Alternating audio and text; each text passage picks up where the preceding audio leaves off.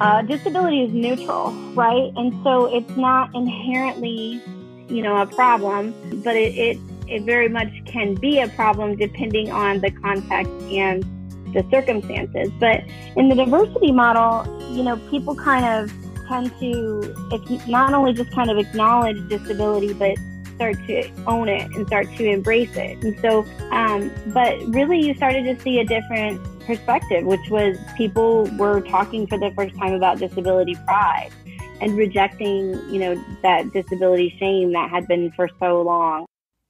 That was Dr. Erin Andrews on Psychologists Off the Clock.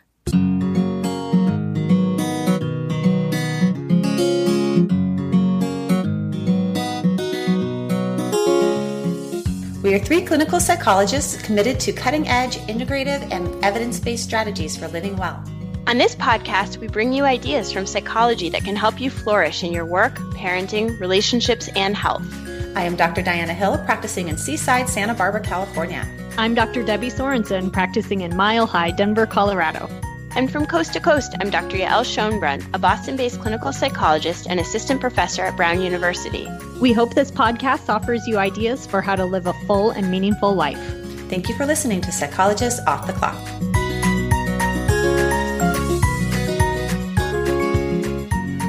Hi, this is Debbie. Today I'm bringing you an interview with Dr. Erin Andrews, who is a psychologist, and she's here with us for this interview because she is also a very strong voice for disability, for disability rights, awareness of disability, and disability culture. And she's widely published in this area, and you'll hear um, she has some really just thought provoking and like pretty cool ideas about this. Uh, what did you think about the episode?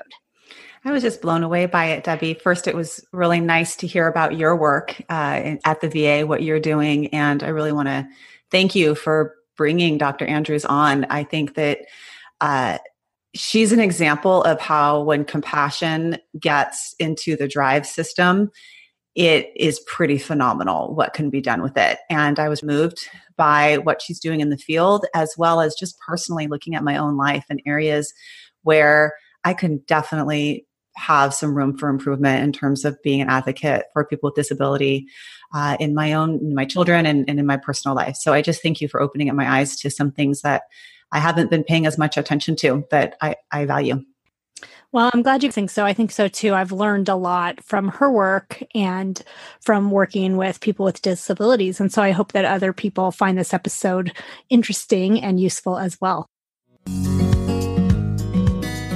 Dr. Erin Andrews is a clinical associate professor at Dell Medical School and supervisory psychologist and the co director of psychology training at the Central Texas Veterans Healthcare System. She is a board certified rehab psychologist with her doctorate from Wright State University and Bachelor of Science from Michigan State University. Dr. Andrews has had numerous publications and professional lectures on disability topics related to her areas of research interest in disability culture, identity, and inclusion. She is the past co chair of the APA Committee on Disability Issues in Psychology and chaired chair of the Division 22 Disability Identity Committee from its inception until 2018. Dr. Andrews has completed innovative work to address the needs of parents with disabilities. She is the co founder of the Disabled Parenting Project, DPP, a resource for support and information for parents and prospective parents with a wide range of disabilities.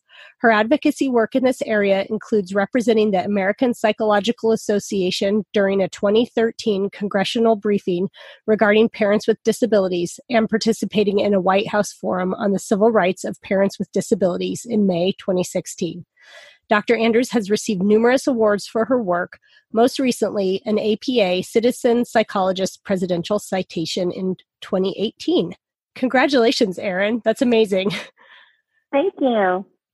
And Erin, you have a book coming up, I understand, called Disability as Diversity Developing Cultural Competence, and that's coming out later this year. Is that about right?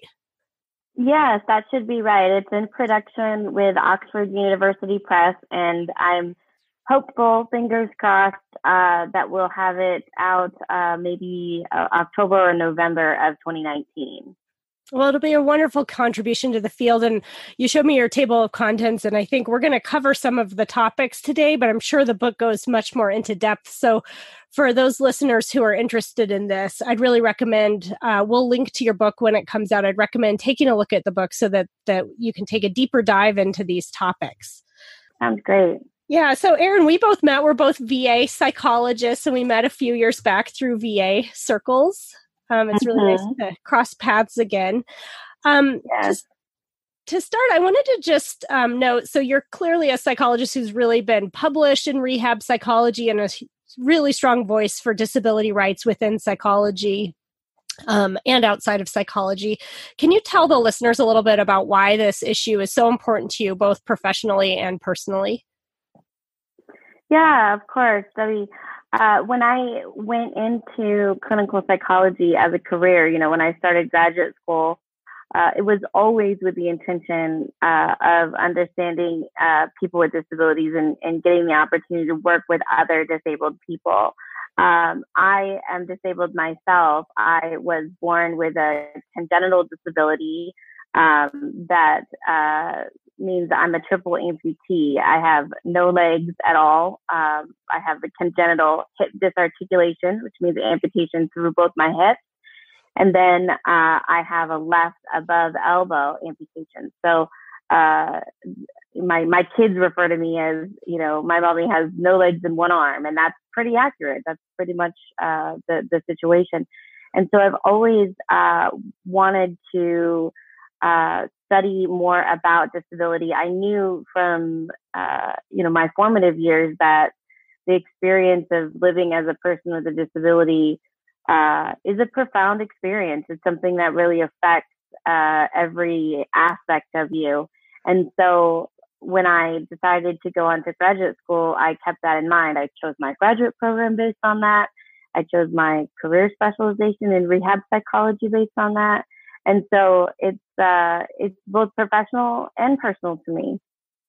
Well, it's a wonderful example of how the professional and the personal are tied together because you've taken your personal experience and really used it, I think, to be a strong voice and to to help other people navigate um, you know in this area so for me i'm not i'm not personally disabled but i my i have several jobs. My main job is as a psychologist in in the va and spinal cord injuries and i work with folks with spinal cord injury ms and als and so a vast majority of my clients in my va job are um, people who have either physical or cognitive disabilities. So to me it's it's very professionally important and then you know personal people that i know in my personal life as well. Um, and just in general i think for our listeners I'm, I'm imagining that pretty much probably everyone who's listening either has a disability themselves or know someone with a disability personally or professionally um, dis- i was reading in some of your literature erin that dis- disabled people are one of the largest minority groups in the US. An estimated 56.7 million people in the US live with some type of disability. And that that 45% of the people in the US have a chronic health condition that involves some sort of physical disability. Right, and it really kind of starts to, you know, question minority. We're not a, we're not a minority, hardly a minority, and at one point we're not going to be a minority. I mean, it's it's so prevalent that you know what you just mentioned about you know nearly half of the population deals with some sort of chronic medical condition. And so it's definitely not not a minority numbers wise. Well, one thing I think is really interesting, and I know you've you've been really um, speaking up about this, especially, is in our field of psychology. We care, I'd say, as a whole, as a field, about diversity issues, and we kind of, you know, make a point of it. But it really, it seems to me that disability is sort of overlooked a lot, and I'm I'm just thinking about some of the professional groups and organizations I'm in, and the training I've had. We talk so much about race and gender and you know sexual orientation and all these types of diversity. And yet to me i feel like we don't talk about disability as often or as much as we should. What are your thoughts about that erin? Well as you might imagine i have a lot of thoughts about that. And and i agree with you. I mean you're right. We we don't hear about disability in the same way that we sometimes hear about other areas of diversity. And to be clear uh, this isn't a competition, and in no way would I ever suggest we uh, think less about race and think less about sexual orientation or other types of diversity variables because they are so, so crucial. And importantly, many people with disabilities also, uh, you know, identify other areas of diversity as part of their selves. So, um, people of color who are disabled, disabled women. Um, so we, I think we've really, we've got to take this conversation in psychology around diversity. We, we've got to take it into the realm of intersectionality and really start thinking about the multiple ways in which people are impacted by different identities. Um, but we have seen that psychology, uh, you know, and I've been very, I think, very frank about this over a long time, even in my work within APA. I was previously the chair of the Committee on Disability Issues. Um, and so what what we see is that disability is just not at the table so much of the time. So, uh, for example, I've written a couple of articles where I've done research looking at psychology training, and while we see other uh, identities uh, starting to improve some of their kind of marginalized status, you know, students of color, um, students who identify as LGBT, uh, you know, their numbers in psychology in terms of representation are climbing. Now they're still low; they still need a lot of work. But the problem is, is that when we look at disability representation, I have this graph in one of my uh, journal articles, and it's just like a slump. Like we peaked in the 1980s and then kind of just slumped off, you know, since then, which is is terrible. It's the complete wrong direction. It's not what we're seeing in terms of all of these other marginalized groups. And so I think that really speaks to what we see in the broader field. If we're not able to uh, mentor and recruit and retain, you know, students with disabilities in psychology, then they're not going to become disabled psychologists. And so we just aren't um, we aren't seeing the representation that we probably need to see. And so there's a lot of barriers for for people with disabilities to, to break into the field. Uh, there's a lot of you know biases and assumptions, uh, and, and, that's particularly frustrating when we're an organization or a field that really kind of prides itself on you know awareness of biases and and all of those kinds of things. So it, it remains a huge problem, and that's actually part of why some of my uh, recent article. I know that we're going to be talking about like the say the word article uh, was in, in response to some of the uh, the negligence that we've seen from the profession. Right, and I think that's to me that's part of what's sad about it is that as a field i feel like we should do better. We could do better you know representation within the field and yeah bringing these issues to the forefront. Well i think we have to do better because we just talked about these numbers and you know people with disabilities are a huge uh, group of, of people. And i think if we if we don't do better, we're going to miss the boat. And psychology is in a, a place right now where, you know, we have to make our relevance clear. And there's there's master's level mental health providers. There's there's other kind of uh, professions and and folks that are willing to fill these gaps if we don't fill them ourselves. Right. Right. All right. So you mentioned the that say the word article that just came out and it's a wonderful article. I'm we'll link to it on our show notes for this episode. I'd really encourage people to take a look at it. So this article is a disability culture commentary on the erasure of disability. And it's kind of become a social media call to embrace disability identity. Um, and in the article, you tell a really interesting story about how this the original seeds for this article kind of came about at an APA convention. So it's a group of, you know, it's a big conference for psychologists. Can you tell that story? Because I thought it was very interesting. Yeah, yeah. So, you know, over the years working, you know, volunteering in terms of leadership and governance roles in APA, uh, I'm pretty aware of the, the history of disability in the organization. And one of the biggest uh, issues that comes up uh, is just having this APA convention, which is just it's a gigantic conference. It's truly a convention, uh, more so than a conference. There's multiple hotels, and there's you know this whole uh, you know whole matrix of places to be and things to do. And as you can imagine, for people, psychologists with disabilities and students with disabilities, it, it can pose a lot of challenges. Well, one thing that we have always had is this disability resource room. Uh, and I say always, meaning during my tenure, um, you know, and for the past, you know, 20 years or so, we've had this disability resource room. And that's a place where uh, it, it's, it's in kind of the main convention hall area where the vendors are and things like that. And there's screen readers uh, for, um, you know, blind attendees. There's, um, that's where you can go and get an ASL uh, translator if you're deaf. That's where you can go and, uh, I mean, an ASL interpreter.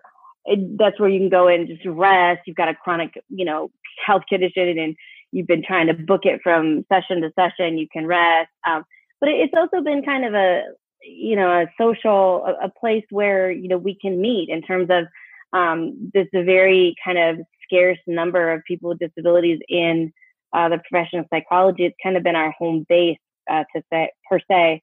Um, and then, so I I've been off the committee for a few years, and you know I've been trying to raise my family. I haven't been to APA every year the way I used to. And then I I hear I get this email through the Division 22 listserv saying, so they renamed it the multi-abled resource room, and I was like, what? What does that mean, multi-abled? What is that word? I've never heard that word multi-able, like what, multiple abilities? Who has multiple abilities? And then why do they need a resource room? It was very confusing to me. And immediately I reached out to other colleagues. I think Linda Mona, a friend of mine over at the Long Beach VA, is like, Erin, what is going on? Do you know anything about this? And and uh, and I say no, and I call Carrie Pilarski. She's the former uh, CDIP chair as well up at the University of Michigan, and she's baffled. And and anyway, so we we kind of came together and we asked APA like, what what's up with this? Why did you change the name of the resource room? And so the feedback we got was something along the lines of people aren't using the resource room because they're saying that they don't want to be identified as disabled. And we thought, wow. I mean, I thought, wow, wow.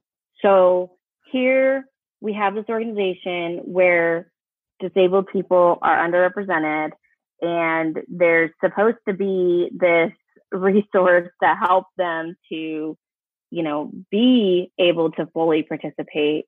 And shame is keeping people from accessing those resources. Um, so you know it just it really struck a chord in me that in 2019 you know um, almost 30 years after the ada had passed um, shame is what's getting in the way of, of people using the resources that are available to them and so i you know but i was frustrated with apa because i, I felt like to to remove the word disabled and to replace it with this really what i would consider to be a ridiculous and silly euphemism and there's a history of silly euphemisms when it comes to disability. Uh, I just thought, you know, we're being complicit and and it's wrong. And I, I I felt very very strongly that APA was taking the wrong stance here and the wrong move and taking that uh, feedback and trying to just kind of say, oh well, we won't call it the disability resource room, and then you know people will feel okay about it. But historically, you know, that's been that's been something that's been done, and that's why the title of the the article talks about erasure because you know disability to us is not just a word and, in disability community and disability culture it's not just a word it's an identity it's a part of our identity and so when you try to kind of take that out or erase that uh, it's very threatening and so i think it, it was a very threatening situation and so we thought it was important. My colleagues and I thought it was really important to to act. And so part of what we did was in writing the article was uh, therapeutic, you know, to just kind of get out the frustration and and the upset. And um, you know, it turned out at the same time, uh, Dawn Ehde, who's the the um, editor for Rehab Psych, was like, write me an editorial. And so we took our initial response and we uh, we formulated the say the word uh, commentary, and it was just really this objection to taking that word disability and trying to make it go away trying to, uh, you know, what we view as, as sugarcoat things to, you know, make people feel more comfortable. Yeah, I think language is important in terms of identity.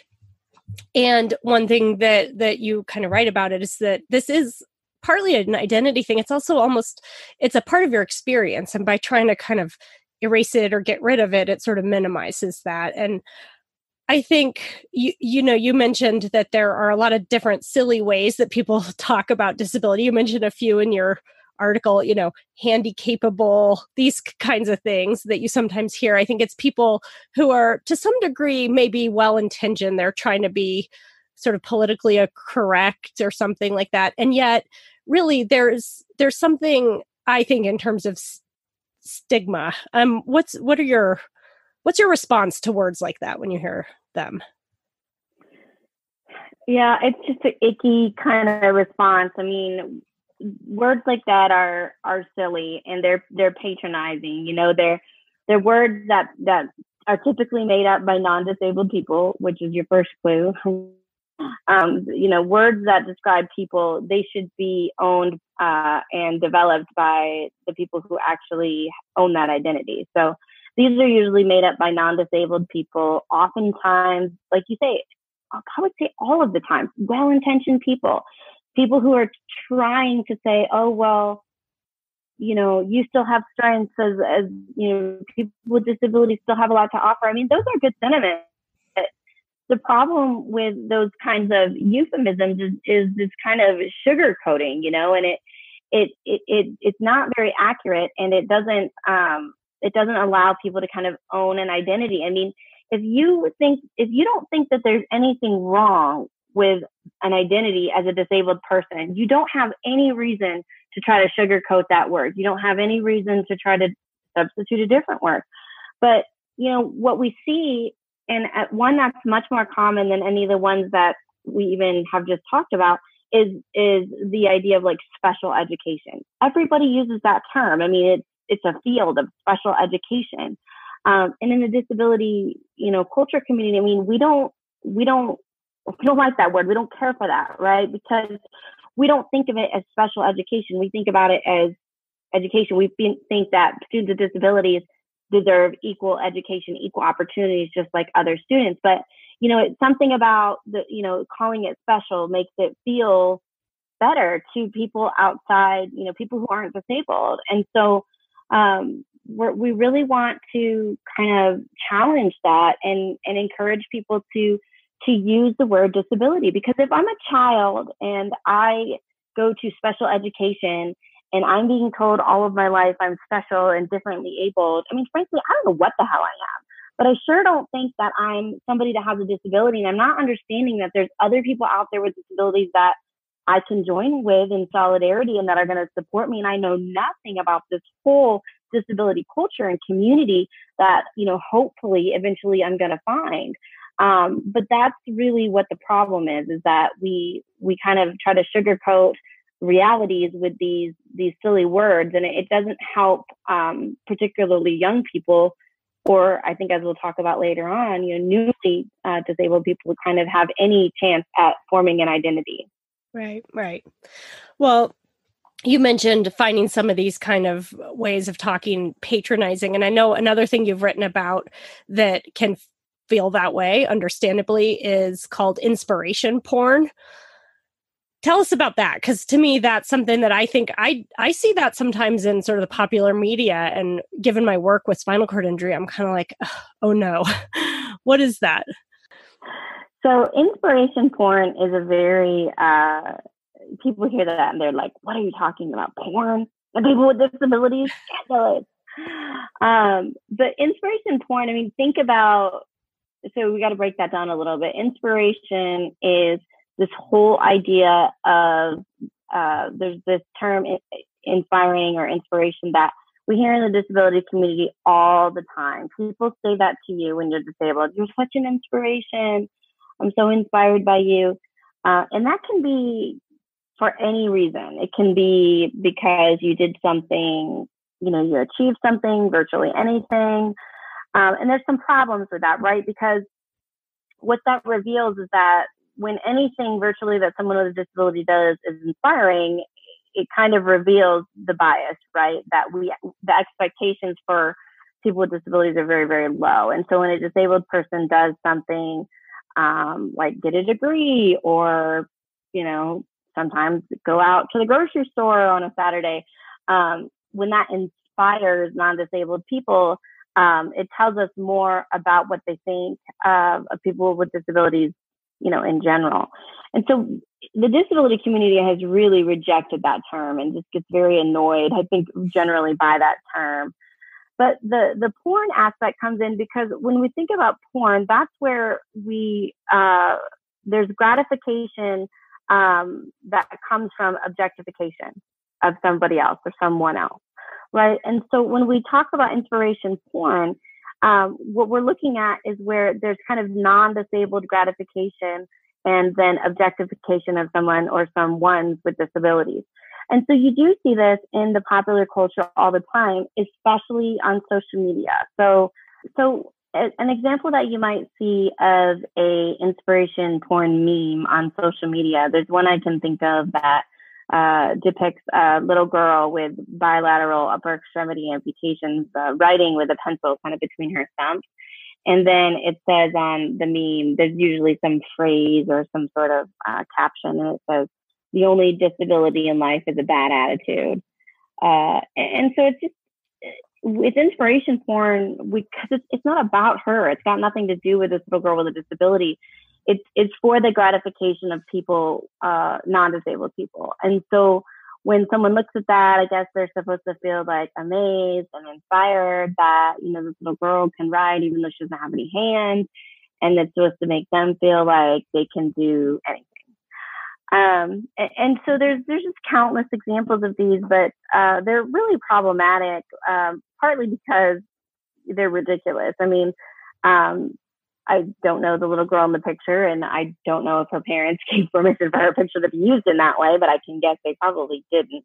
Um, but from what I do know, um, the likelihood is that she was born uh, like me with um, a congenital um, limb deficiency, and so she's probably been writing that way her whole life. And for her, writing with her two thumbs is no harder than you or I writing with our fingers. And so, you know, it, it just it, it takes her normality and and just um, makes it into something you know really extreme and and it's not it's not for her and it's not about her it's for uh, non-disabled people to to feel better and to feel good and that's uh, that's what we call inspiration porn well, I think it trickles down in another interesting way. So I work with people with, um, you know, mostly veterans who acquired a disability later in life. So spinal cord injuries after, for example, an accident or something like that. And what I, where I see that trickling down is that sometimes they they almost take it as a well, if I think positive enough, if I work hard enough, I'll gain back you know whatever i've lost because of my injury whatever mobility so I'll be able to walk again or something like that.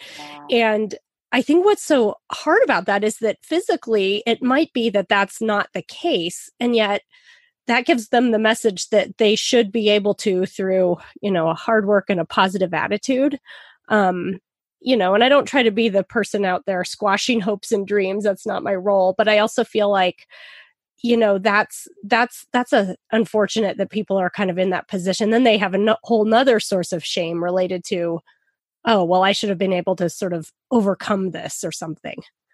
Yeah and that's a great point and that is exactly how that hits people with disabilities pretty much universally. It it it kind of uh, sets up this narrative that it's on the person with a disability to quote unquote overcome their disability you know, which is ridiculous. And there's a, a really good quote um, by the late and great disability activist uh, Stella Young, who was an Australian.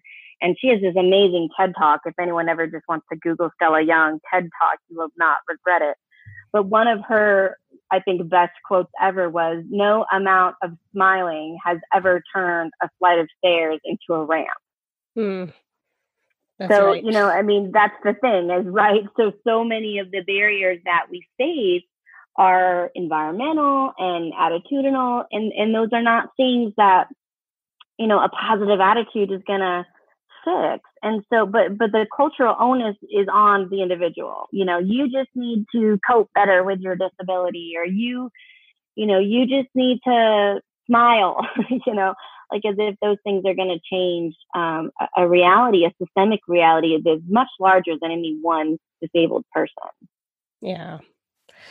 You know, earlier you were talking about um, stigma. And I think for those veterans I work with who, you know, again, usually got their disability later in life, they may not have the same connection to disability culture or the disability rights community that you have because they're, you know, they they didn't have access to that or any, you know, connection to it prior when they were able bodied. And so, what I see in my practice a lot, Erin, is that for people, it can be the stigma that they've been carrying around related to disability that turns into self stigma, um, shame. I work with a lot of men in the VA, and often I think it, for them, it can be tied to is- issues related to masculinity, um, connected to their body um, what what thoughts do you have about that and, and any i don't know advice for working with with folks like that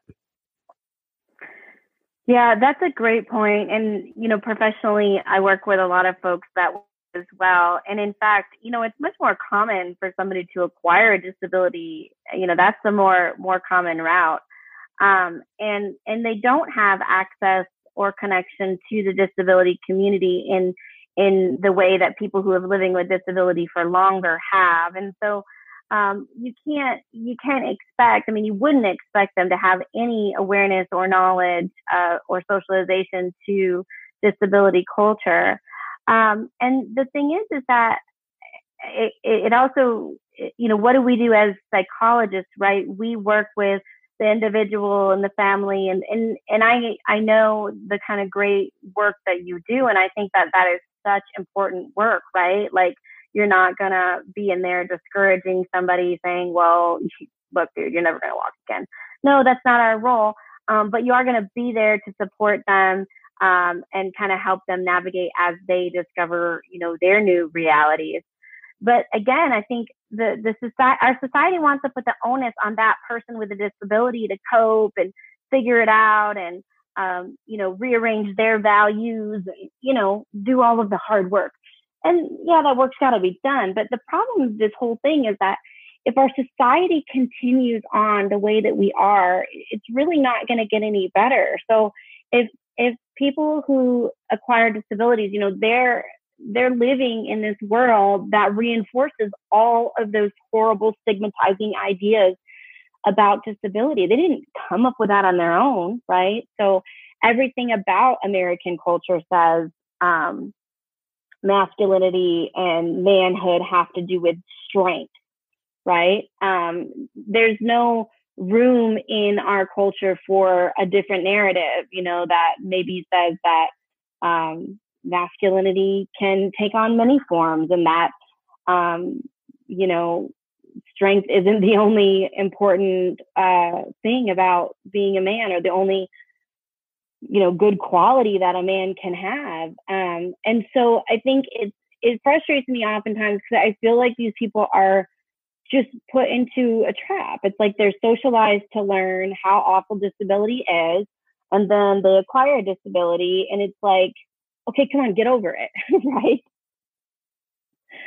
so I think it, it, that is really really challenging work, and you know I I hope that um, as uh, as disability culture and the disability community gets more vocal. I mean, even interviews like this are are, are an important piece of getting uh, getting the word out there that you know disability is not this this tragedy or this you know horrible uh, you know, thing that everyone you know, kind of has been socialized to believe. Now, that doesn't mean that there aren't some really difficult uh, things about having a disability. There are um, some, and and that's in a lot of ways what makes disability a little bit different than other identities.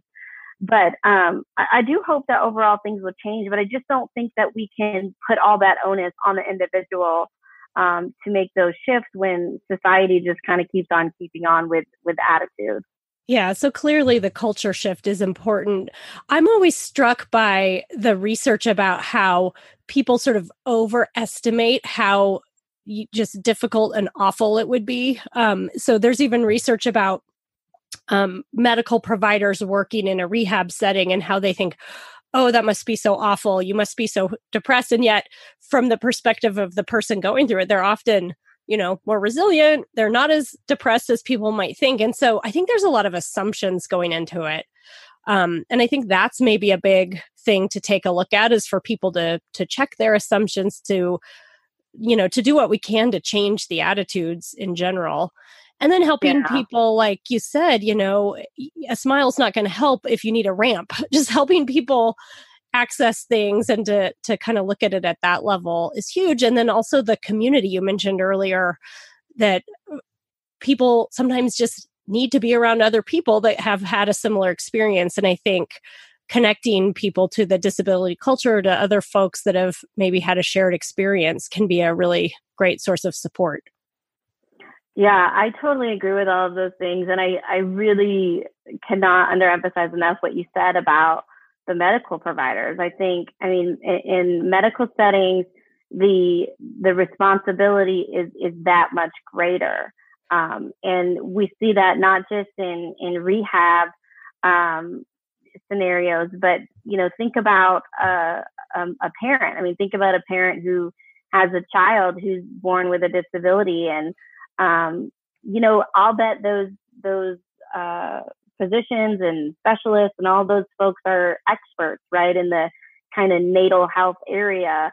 Um, but they're the ones making predictions to mom and dad about whether or not this child's going to have a good quality of life. And my concern is that oftentimes those folks are spouting off things that maybe they learned in a textbook maybe 20 years ago. I mean, how many people with that disability grown to adulthood did they actually know? I mean, what what is the the accuracy of the information that they're giving um, to the parents. I, I, think that you could make a pretty solid argument that it's not always uh, based in uh, reality, and, and it tends to be very dire.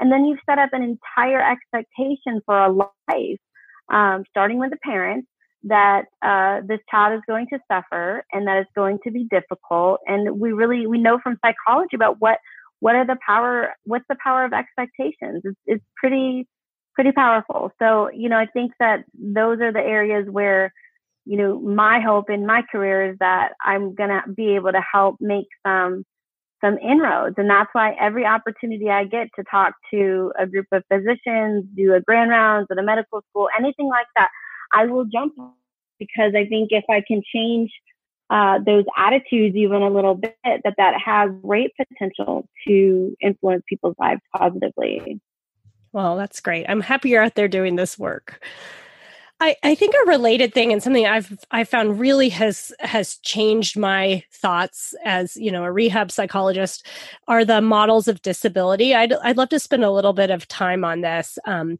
I first encountered this in a book um, called "What Psychotherapists Should Know About Disability," um, and I know that this is something you've written about and you're going to cover in your upcoming book.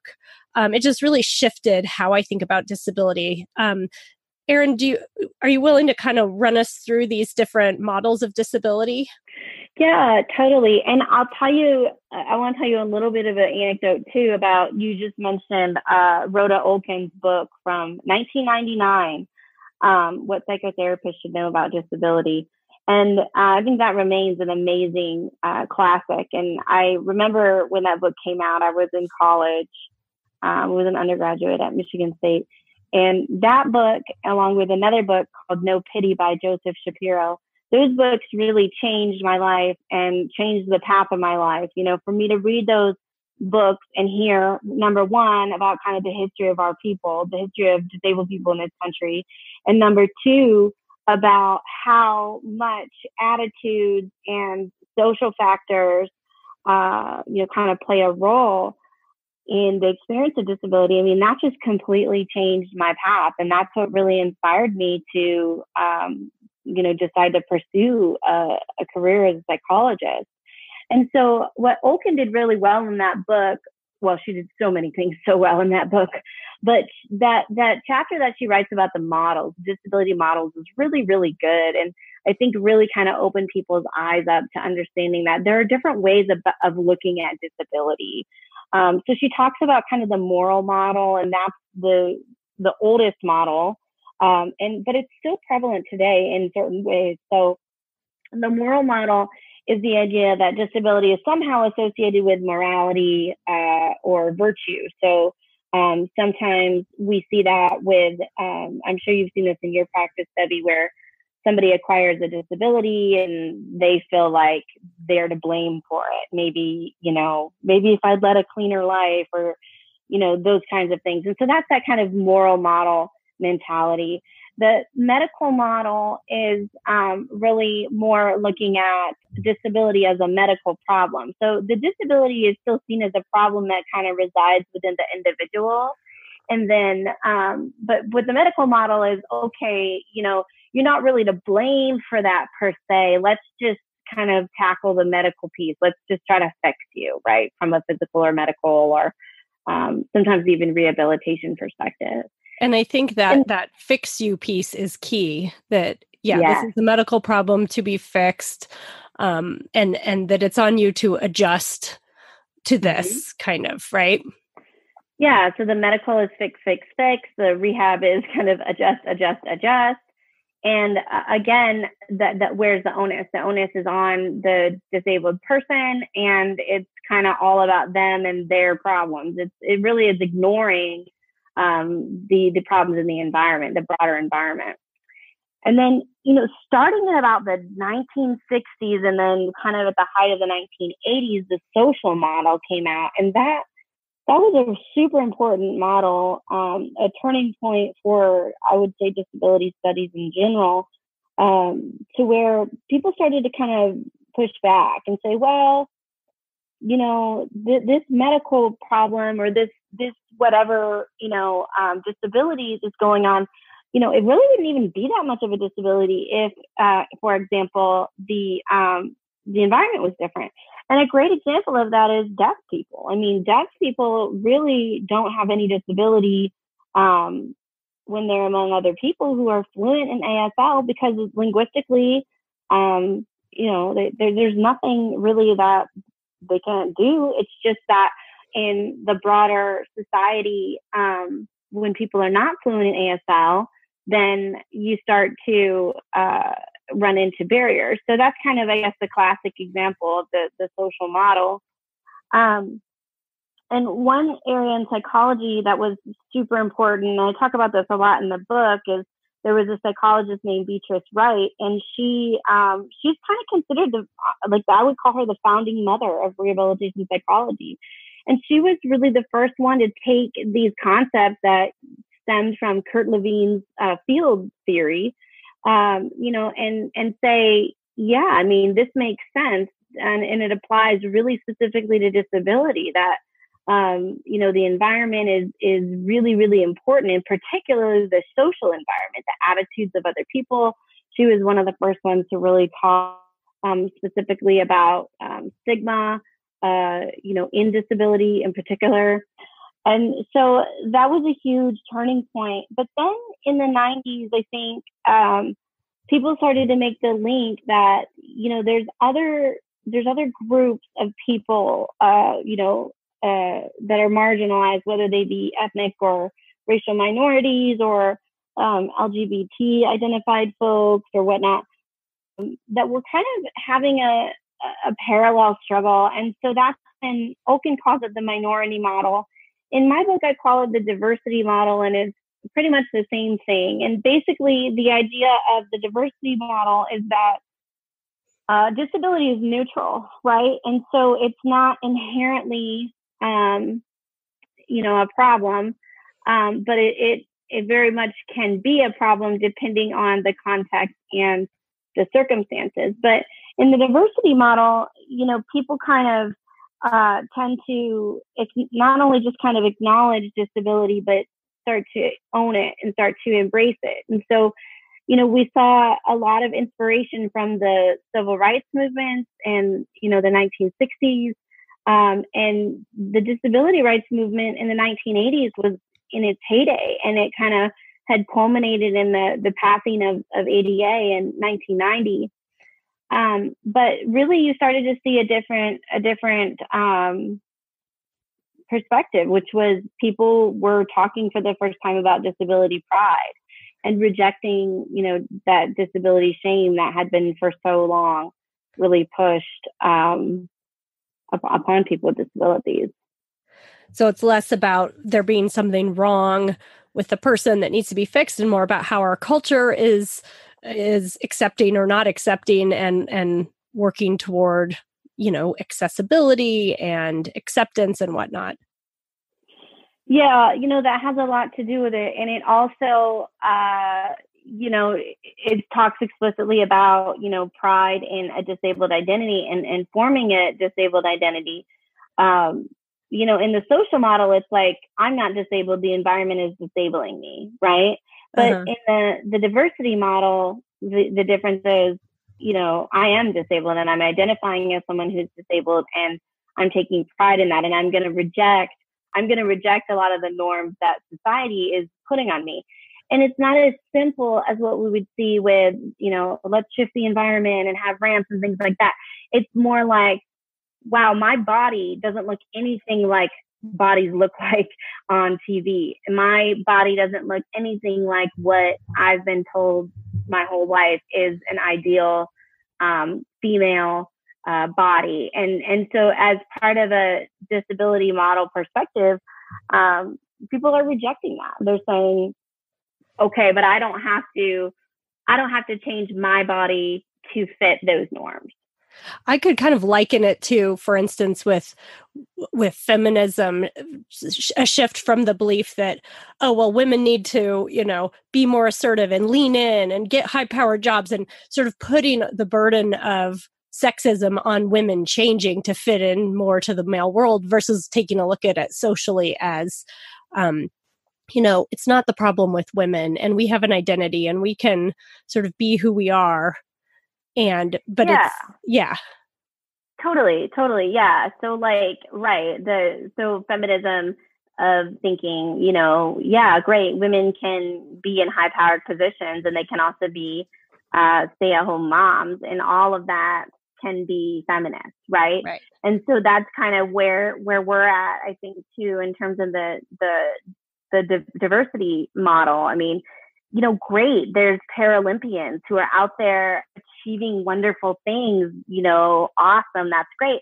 But you know, most people with disabilities aren't going to go, you know, do some sort of um, competitive sports, and and that's that's also okay too. It doesn't right. have to be um, what we we would call the the Paralympian mentality, is kind of like the supercrip, and you see that a lot in rehab, right? Like there's this one poster. I don't know if you guys have it in your your area, but um, I've seen it at so many different places. It's like this guy with a spinal cord injury um, in his manual wheelchair. He's literally mountain climbing. I don't know if you've seen that. Oh, one. I've seen some of those. Yeah, mountain climbing. Yeah, right. Like you too. You know, nothing can stop you. And um, but you know, the diversity model is like, hey, you know what? That's okay. I'm not. I don't go. I don't have to go be a Paralympian. I, right. um, you know, I have muscles that, uh, you know, are, are weakening and, and gradually weakening, and I'm never going to climb a mountain, and I'm okay with that body. And that's fact, okay. I love that body. Yeah. yeah. Yeah. So I know a lot of your advocacy work has been for parents who have a disability and that that's part of your personal experience and also that's a group that that tends to be overlooked. What are some of the concerns that you think need to be addressed there in terms of advocacy? Well there's a lot kind of remains to be done. Um, you know, when we started the Disabled Parenting Project, we had a couple of objectives in mind. One was, and kind of foremost, was to provide an opportunity for parents with disabilities to get support and guidance from other parents with disabilities. The people that we feel are really the most qualified to to give that support and advice. Um, you know uh, it's great. We've got wonderful medical experts out there um, that have an important role to play. But again um, you know, how many genetic counselors uh, or or medical doctors who are going to tell you all about the genetic testing for spinal muscular atrophy have actually ever talked to an adult with SMA. You know, I mean, and that that's the thing. So um, we really uh, wanted to provide an opportunity for parents to connect with other parents um, and to share tips and, and support and things like that. And so our online uh, presence have, has done that. We have a website, we have a Facebook group, we have um, forums. There's so there's lots of opportunities for that. Um, the other thing is that we we want to kind of continue to work to develop uh, resources for professionals, and there's a lot of professionals that are involved in disabled parenting. Obviously, there's the medical professionals, and we'd like them to do some of the things I've been alluding to, like maybe link, you know, potential parents of disabled children up with, you know, organizations that have adults with those disabilities where there can be some some mentorship or things like that. But the other thing is that there's a huge kind of uh, legal component to this, and and people might think legal, like what is it? What does legal have to do with parenting? Well, when you have a disability, it has everything to do with parenting because the the legal system the child welfare system is disproportionately involved with families uh, of uh, where parents, one or more of the parents, have uh, disabilities, and so we have all of these cases where we we've heard about or been involved in cases where the child has been removed from the parent's custody uh, in in all these different instances, and it's it's the problem with it is it's based on the fact that the parent has a disability. And so we're not saying every parent with a disability is capable, just like we wouldn't say every parent without a disability is capable. What we're saying is disability itself doesn't make you a capable or not capable parent, that there needs to be a fair and culturally competent assessment of those abilities. But that doesn't really happen. In reality, what happens is assumptions make decisions. So the assumption that the parent with a disability is the lesser parent is going to result in the non-disabled parent being awarded full custody or the assumption that these two blind people who happen to have been taking care of themselves their entire adult lives you know are not going to be able to take care of this newborn baby so social services is going to take it away. And people don't know that that's happening. People just have no awareness that it's happening and how incredibly scary it is for people with disabilities that if we um, if, if we need help, it's like don't even ask for help because it's it's so scary. People are scared that their children will be taken from them and their parenting abilities and, and skills will be questioned and that they won't have any recourse. And I, I wish I could say to these parents, like, oh, you know, don't worry about it. It won't happen to you. But I mean, that would be that would be irresponsible because it is. It happens to people, and there are laws in many states today that say. I think we still have like 26, 20 something states still have laws on the books that say that disability itself is, uh, you know, a reason that you can um, consider removing the child or deeming the parent to be unfit. Disability alone, without any, um, without any actual assessment. So that's what we're really focusing on is is trying to make people aware of this issue and speak up and and get involved in legislation that's going to provide uh, parents, you know, with more resources so that they don't have to be so afraid that their kids are going to get taken away. I had no idea. That's really sad and scary. Yeah. I appreciate you spreading the word um, and the work that you're doing to help with that. Um, and what about talking with children about about disability on this podcast? We often ask, you know, our our guests for pointers on on on working with kids and for parents. Um, and in my experience, I think that sometimes parents, able bodied parents, get embarrassed or they're not quite sure how to talk to their children about disability in a non stigmatizing way. So, for instance, if a child sees someone who is using a wheelchair and they ask a question or something like that, the parents sometimes act so like, I don't know, weird about it. I think out of their own embarrassment. What? How do you recommend that parents approach these kind of um, topics related to disability with their children? It's funny that you mention that because this is this is an ongoing, I think, uh, issue that comes up, and it's actually something I've been thinking about, uh, thinking about maybe maybe writing something up about just a little bit more in depth than than what kind of the usual conversation is or the usual response.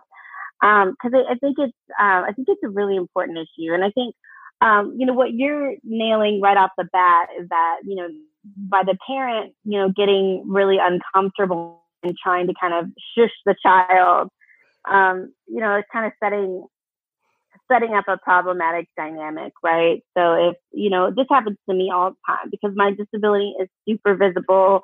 I mean, I have my body's asymmetrical. I'm really noticeable. I use a power wheelchair. It's like there, you know, I might as well have a target right on my head um, for um, for children. And so, you know, they see me and they've never seen anyone like me, and they're curious, and that's really natural, you know.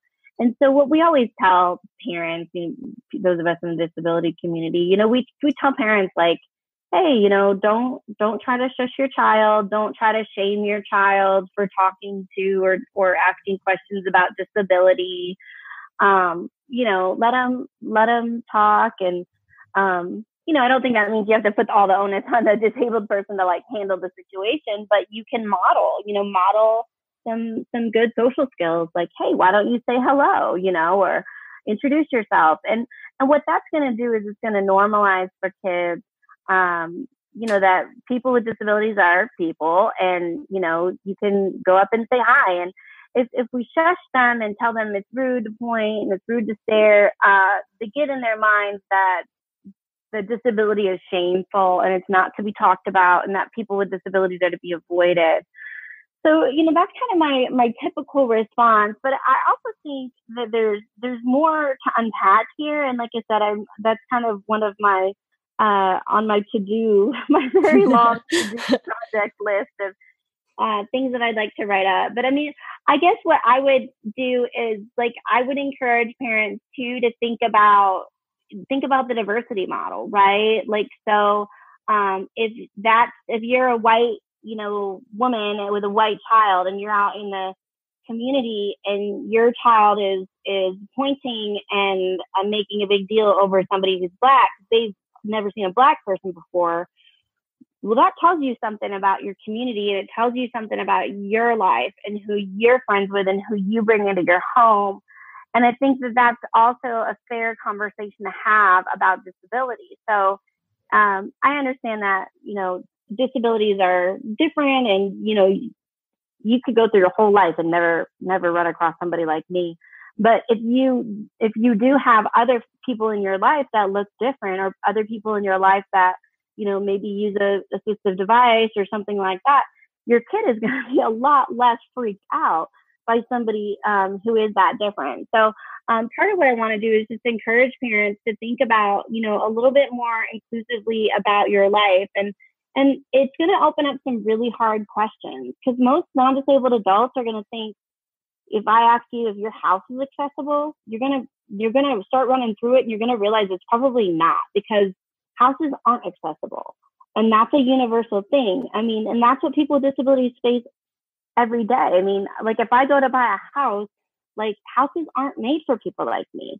And so I can't, you know, take my kid over to a play date at some other parent's house unless there's all of these other kind of instances that are or situations that are going to mitigate like my able-bodied spouse can come with me or um, they happen to have a disabled child so they happen to have an accessible house you know, but those really aren't the odds. And so, you know, just being thoughtful and inclusive, like when you're planning your kid's birthday party, like, are you thinking about the, the, the, the fact that the place where you hold it might or might not be accessible?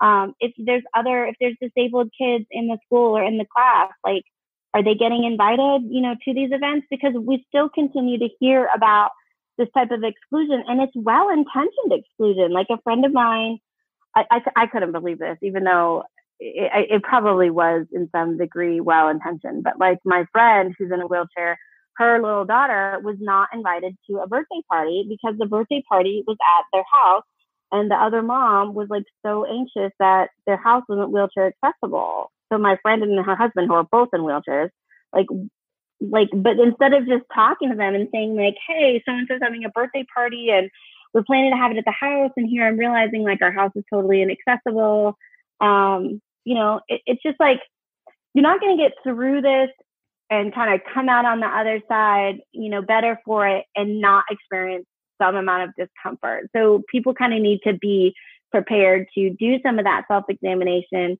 um, you know, willing to experience some of that that discomfort um, and and and learn. You know, listen and learn, and and I think we can all be better for it. Yeah, I think it takes your say the word um, hashtag hashtag say the word to a whole nother level, which is more than just the word. It's kind of how we're thinking about it and how we are or aren't being inclusive. Um, I think there's a great example in Rhoda Olkin's book about um, you know, people might say to her, like, oh, are you coming to this restaurant? Because if so, we'll find an accessible restaurant. when in fact, that would be like saying, oh, you know, black people aren't allowed at this golf course. Would you still go to the golf course? Like, if you truly care about inclusivity, no, you would say that's yeah. enough not to. Um, whereas we may not be thinking about that with disability. Right, and we're not. We're just not. And I think that's that's where the ally piece comes in. Like there was this uh, article on social media that recently kind of made the rounds of uh, um, uh, a couple of um, a couple who went to get married. These two men, and they had their wedding outside at like a national park or something. And then the whole article was about how like they were so shocked and horrified that the the park wasn't accessible, and their one of their wedding guests like couldn't come. And um, and I mean, I understand the point was like, yeah, I mean, in 2019, no park should not be accessible. I mean, sure, everything should be accessible. I mean, the ADA is almost 30 years old, but that's not reality. And allies know that, you know, non disabled allies get it. They know that that's not reality and that we still are going to face uh, inaccessibility you know every day. And and the non-disabled ally isn't going to ask whether or not you're coming first right? He's going to just make sure that his his venue is accessible. And he's going to take the ownership of that because for you know so long forever the ownership's been on the individual person with disabilities and that's that's exhausting right? So what we want to do as as good allies is, is take some of that ownership ourselves so that it doesn't have to be on them. Like I don't have to say, hey, um, do, you know, is this an okay restaurant for you? I'm gonna just go ahead and call and let you know, hey, I checked it out and I made sure they're accessible. We're good to go. You in? Yeah. Right. And if it's not accessible, whether or not you're in, maybe find a different venue, right? right, right. Well, I have really just been um, so appreciative of all the advocacy work that you've done um, and how much I, I don't know. I feel like you've made a big difference using your career to do this work and and I really appreciate it. I'm wondering if we can kind of wrap up by offering resources or, you know, places people can turn to if they want to learn more or if they want to do some advocacy work. What what recommendations do you have and we'll be sure to link to any resources you mention on the show notes for today so people can easily find them.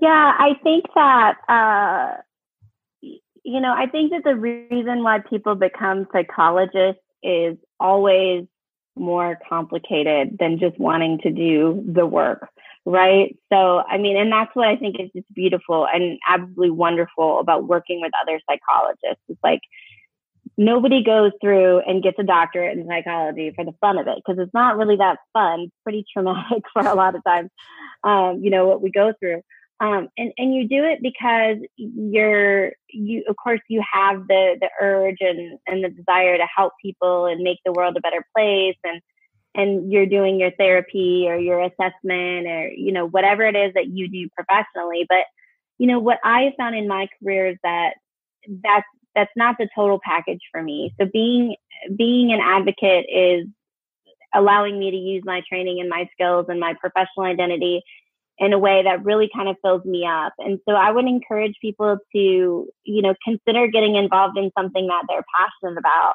And everybody's passionate about something. I mean, it might be a diversity issue. Like for me, it's disability. Um, but for other people, it, it could be something entirely different. But I think that, you know, getting involved with your community um, in some way and giving back is just so, uh, so worth it. Even though, yeah, it's a lot of time. It's time away from your family and it's you know on top of your your day job and all of that. You can also involve your family too. You know that's that's the wonderful thing about advocacy is you know i've gotten to uh, like on both my trips to dc like i brought my family with me and you know what an opportunity like for my child to know that you know i went and participated in a white house briefing or a congressional briefing you know that for them to be able to know that i did those things i think that's that's really important.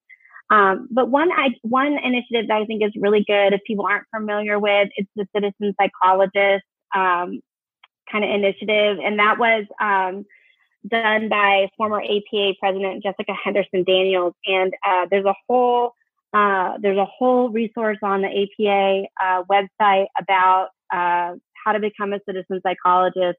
And this is just recognizing the things that psychologists are doing in their communities every day um, that kind of go above and beyond. And so there's a lot of ideas there. You can kind of read about other psychologists, what they've done in their communities, how they've been advocates, and what they've gotten from it. So I think that that's been a really wonderful initiative. And so if you're kind of looking, well, you know, what could I do? I think that's a really great place to start. Fabulous. Thank you. Yeah, we'll be sure to share that on the show notes and i encourage people to to take a look at your work and other work. We'll link to some of the apa rehab psych resources and some of your articles erin and um, hope that people will will take this as as a call to to learn more and to do their part. Right.